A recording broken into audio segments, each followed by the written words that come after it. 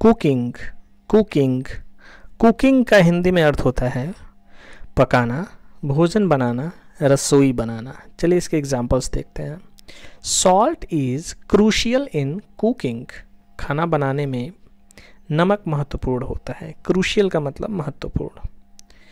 दूसरा एग्ज़ाम्पल है in her spare time she reads books on cooking अपने खाली समय में वह खाना पकाने पर किताबें पढ़ती है।